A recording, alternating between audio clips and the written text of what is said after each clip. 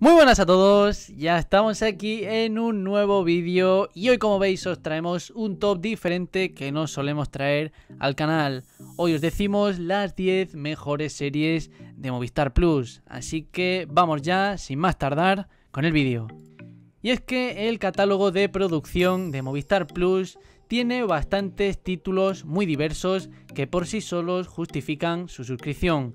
Pero además de las series españolas, también tiene otros títulos internacionales de gran calidad y atractivo que quizás antes no conocías o simplemente no tenías en el radar. Así que vamos ya con los mejores géneros, dramas, comedias y thriller de esta plataforma cada día más creciente. Y para empezar abriendo boca con el puesto número 10 incluimos Los Darrell, una serie de cuatro temporadas que comenzó en el 2016 y finalizó en el año 2019. Tiene un total de 26 episodios y nos habla de los Darrell, que están acostumbrados a una vida acomodada pero que tuvieron que hacer frente a su nueva situación en un hogar que por no tener no tenía ni electricidad, pero sí que mucho encanto tanto que nos iríamos allí ahora mismo a pasar un verano sin pensarlo. El autor recuerda haciendo esta serie sus años de infancia, ya que en esa época se trasladó junto a su familia a la isla griega de Corfú desde Bournemouth para iniciar una nueva vida en un lugar que en nada se parecía a su añorada Inglaterra. Una serie familiar y que para estrenar este puesto número 10 está muy pero que muy bien. Vamos con el puesto número 9, que lo ocupa Quiz, una serie de 2020 y que solo tiene una temporada de solo 3 episodios, pero que la verdad merece mucho la pena ver. Esta miniserie británica, por cierto, está basada con un escándalo real que revolucionó el Reino Unido en 2001, cuando Charles Ingram, ganador del millón de libras del concurso ¿Quién quiere ser millonario?, fue acusado de fraude y llevado posteriormente juicio.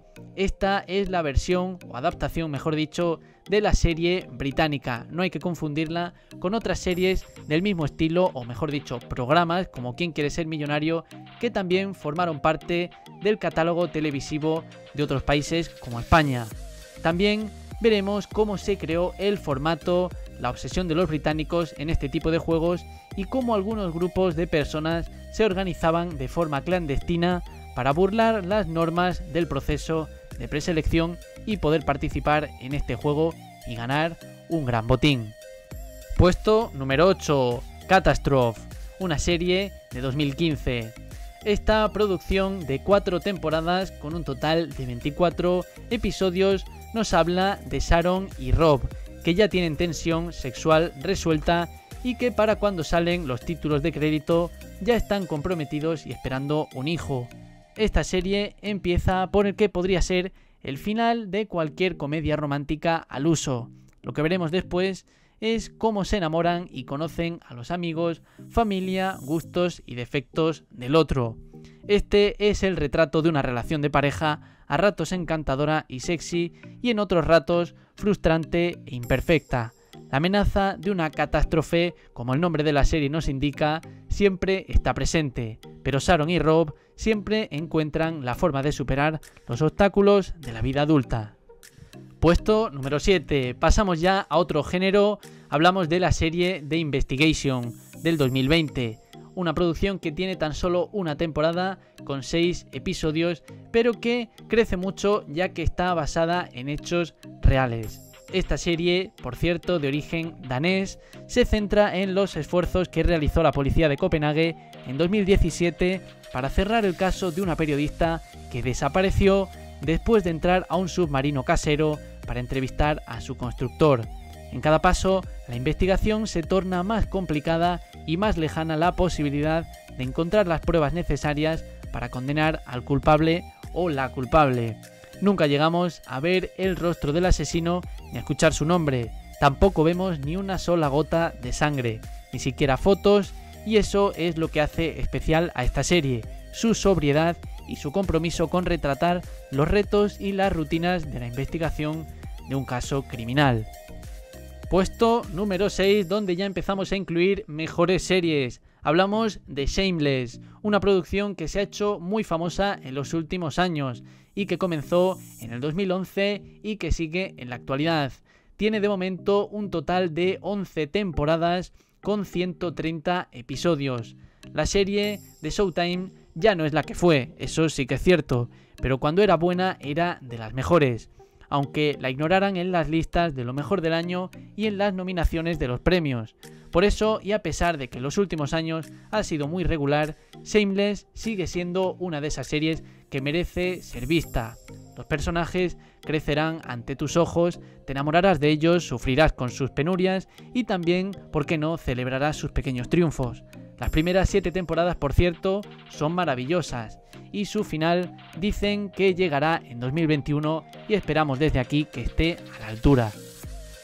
Puesto número 5, Line of Duty, una serie que comenzó en 2012 y que cerró su sexta temporada este año, en 2021. Tiene un total de 30 episodios y nos habla de policías que investigan a otros policías.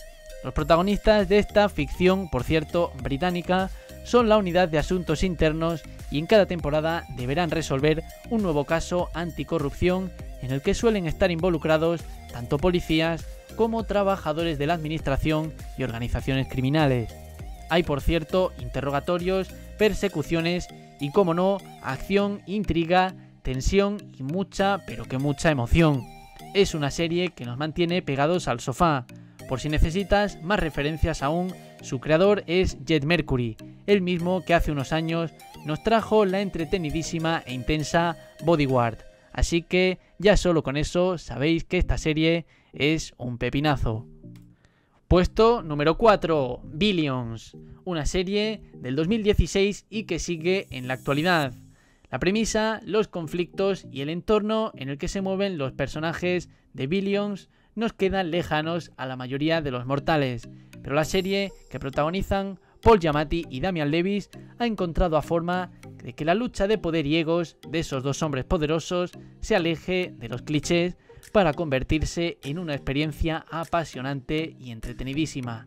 La serie tiene 5 temporadas con un total, a día de hoy, a fecha de grabación de este vídeo, de 55 episodios.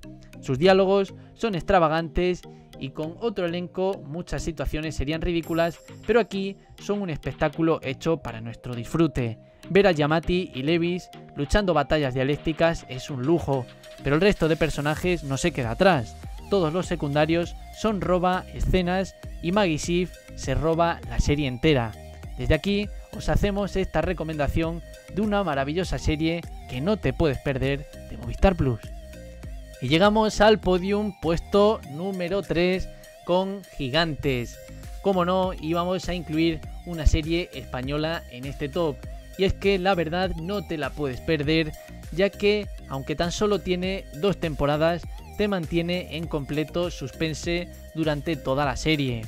Crimen, acción y sangre serán los componentes principales de esta serie española, como digo, dirigida por Enrique Urbizu. En ella conoceréis la historia de la familia Guerrero, quienes han hecho de la compraventa de muebles una tapadera perfecta para sus actividades criminales.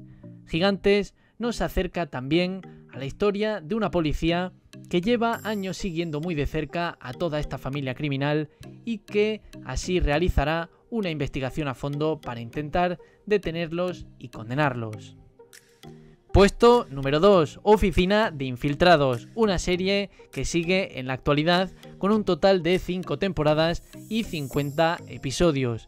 Y es que si echas de menos Homeland, esta serie francesa es una buena sustituta, desde aquí te lo confirmamos. La historia sigue las actividades de la Agencia de Inteligencia Internacional Francesa y la primera temporada se centra en un agente que regresa a París después de estar seis años infiltrado en Damasco. Allí se reencuentra con Nadia, con quien mantuvo una relación en Siria, y empieza a llevar una doble vida engañándola a ella, a su familia y a la agencia para mantener su fachada. Ese es el punto de partida de una serie que de forma paralela investiga la desaparición de otro agente. Muestra, por supuesto, el proceso de formación de otros y teje una red más complicada en cada temporada. es una serie de espionaje internacional apasionante y muy pero que muy adictiva. Y llegamos ya al puesto número 1 con The Good Fight, una serie que sigue en la actualidad y que a fecha de grabación de este vídeo tiene un total de 4 temporadas y 40 episodios. Este spin-off, podríamos decir, de The Good Wife, heredó la clase, la elegancia y el particular sentido del humor de la serie original y lo condensó en temporadas de solo 10 episodios por temporada, como digo, lo cual la hace simplemente perfecta a mi parecer, con un elenco de actores en estado de gracia, casos legales interesantes y sorprendentes y tan pegados a la actualidad que parece que han sido escritos en la semana de emisión de cada episodio. The Good Fight es una de las series imprescindibles del panorama televisivo actual de Movistar Plus.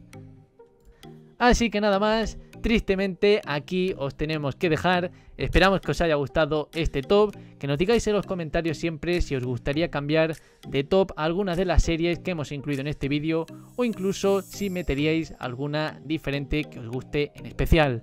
Nada más, un saludo y nos vemos en el siguiente vídeo. Chao, chao.